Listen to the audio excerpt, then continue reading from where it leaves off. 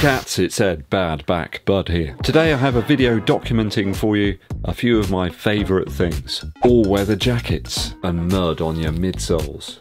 High-vis mesh uppers and waterproof mittens. Brown cardboard boxes containing new shoes. Here's some of my favourite stuff.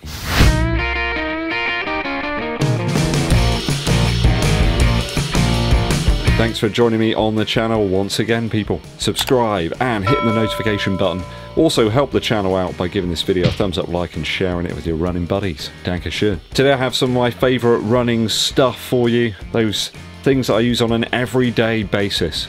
Quite a lot of you follow me on Strava. If you haven't yet, go and do that. I'm really particular about what I use when I'm out there running, and I'm going to document some of that for you today. You want things that are going to make your escapades in the great outdoors enjoyable, like effective, and also things that sort of present good quality. Performance and value are important as well. Here's some of the stuff that I've enjoyed testing out over the last year. So, first up, in the colder and wetter days, there are some items that just really help you to get out there in the first place. They're going to keep you warm and protected. If it's washed and ready, the all-weather 3.0 jacket is my ultimate choice. I've tried and failed using loads of different other running jackets. They've all been a total failure really. Trying to find something that's comfortable in wet and windy conditions. Every other thing I've tried's just been like a bin bag really over the top of your body. Zero breathability and useless fit. The Leica Glove all-weather jacket 3.0 from Soar absolutely successful at avoiding all of those things. Superb, nice and fitting and very sort of comfortable, especially for someone quite tall. It comes complete with a couple of waterproof pockets, one on the front side and one on the back. Easily enough room in the pocket on the back of this jacket to hold your phone. I find it really good to put in a couple of gels. You can store another one up front as well if you're going on a longer run. The Storm fabric has a double application of a repellent finish.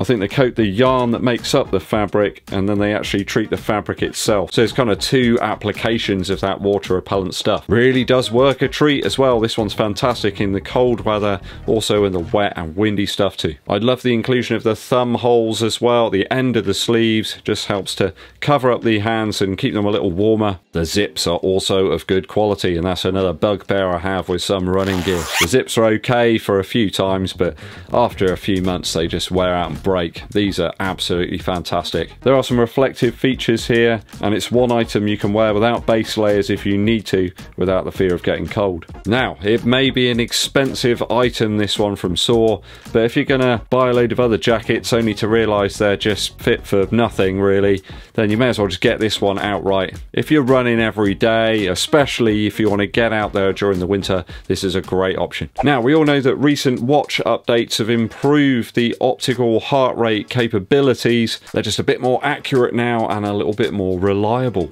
The Garmin Epix 2 and the Forerunner 955 are both watches that I've been testing out recently, they have vastly improved heart rate monitoring statistics. That's obviously going to make the info gathered a little bit more usable, I suppose, and you can put a little bit more trust into some of the metrics that they spit out at you. Recovery times are that bit more effective now because you've got better heart rate monitoring. You can see whether you've hit those desired effort levels within your runs with a little bit more accuracy. But of course, it's good to have a backup if these things don't work out. Sometimes people's wrists just don't work with optical heart rate measurement. As such, I still pull out the trusty old Polar OH1 Plus. It's still the heart rate monitor of choice for me. You can wear this one on your upper arm and ensure you get a reasonable reading, especially if you're perhaps running in some very wet weather. The original strap that I had with my OH1 Plus did expire some time back, it just fell to bits. Fortunately though, the strap you can buy for the Verity Sense, which is the new model of the OH1 Plus,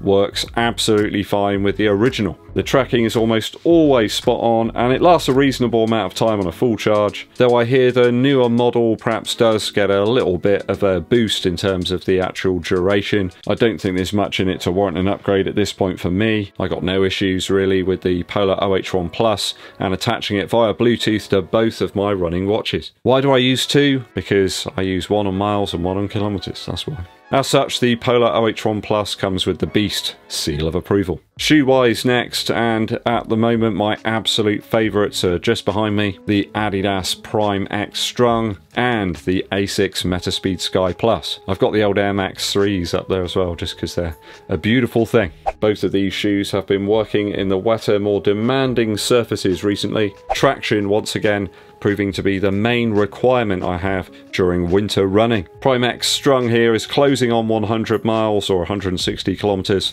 so I will have my longer term review of that soon. I think you know what I'm going to say already. The ASIC shoe is getting there. I've got to be honest, these couldn't be any more different really. I've been using this one predominantly for speed training, some faster pace workouts, and the Prime X Strung for more easy recovery or longer run stuff. The interesting stack and the super fitting upper of the Metaspeed Sky Plus, providing the better option for speed training. It's kind of odd as well, this shoe's taken a bit of a pounding recently, but give it a quick clean with a cloth and it looks fantastic once again. I was a little sad that the UK didn't see some of the superb discounts that some of you have had over in North America on the Prime X Strung, though I am glad some of my North American buddies have managed to pick this one up for a steal. The perfect easy day shoe and one for steady pace and long runs. It's the king of cushion and it's the prince of propulsion.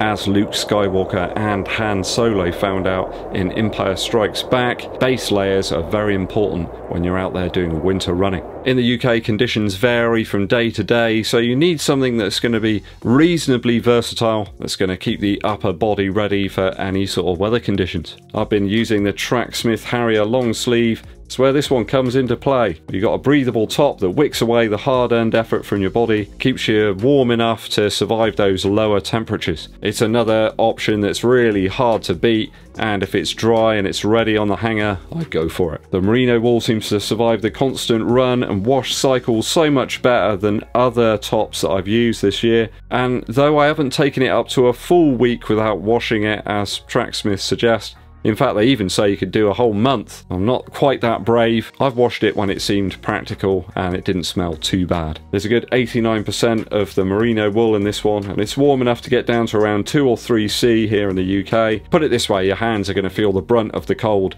before your upper body does if you're using this one from Tracksmith. That leads me nicely on to gloves. In the winter months here in the UK, I'm constantly on the lookout for something that repels the water, keeps my hands warm. I found nothing yet after years and years of trying. The very cheap Thinsulate gloves that we can get over here in the UK seem to do a reasonable job as long as it's not wet. They're kind of like a wool knitted sort of outside section of the glove and then the center section is this sort of insulated white material. It works okay but once it starts raining your hands get saturated and they get cold very quickly. Any suggestions greatly received from viewers who are constantly running in these types of conditions. If you've got something good to suggest to me that keeps your hands dry and warm, even in wet conditions, I am all ears, so let me know down in the comments. For the lower body, I always opt for the same shorts. In fact, they're not shorts, they're tights. I go for the Nike Dri-FIT Advanced Aeroswift tights. Their currently available model is a little different to mine,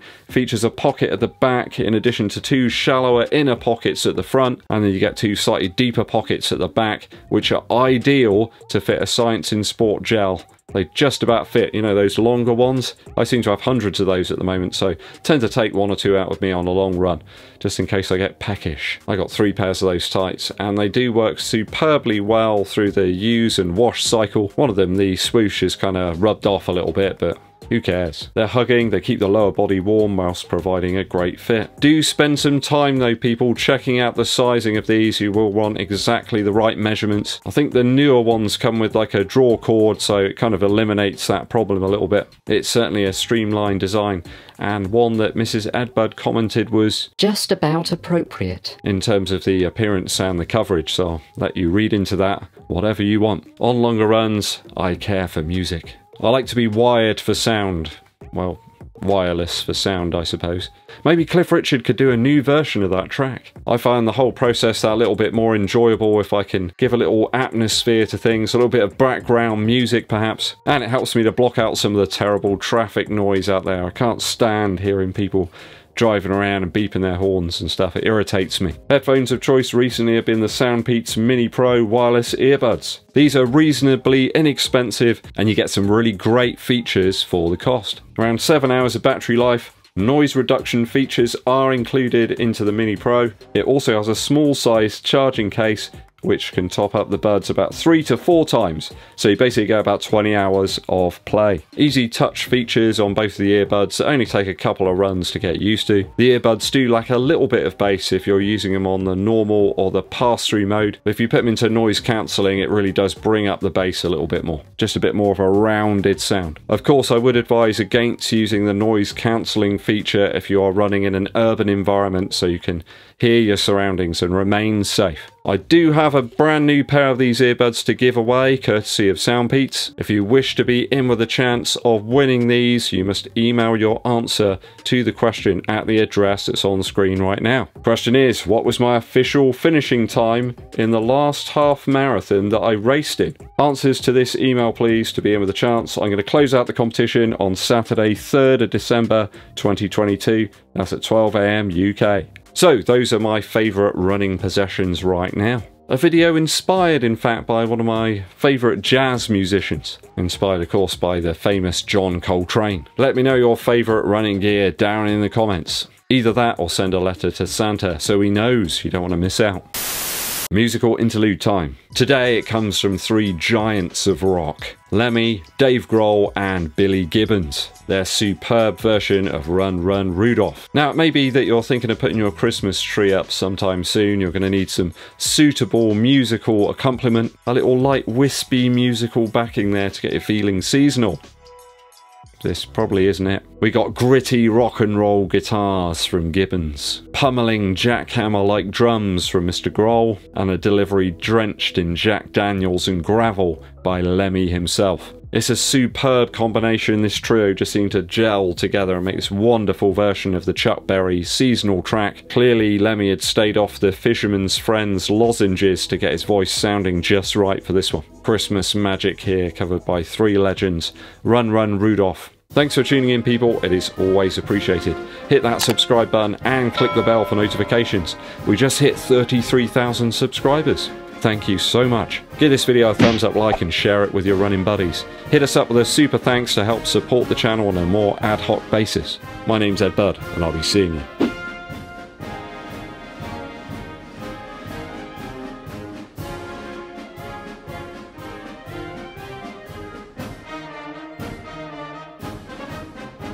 If anyone's wondering about the hat, it's a special custom job by Mrs. Edbud. If you want more information, send me an email.